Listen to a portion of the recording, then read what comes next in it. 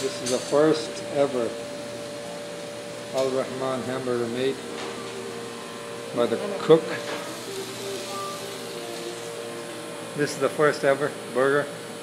Uh, hopefully it'll be good. And this Sunday we are going to be having a special $3 combo from 4 to 8.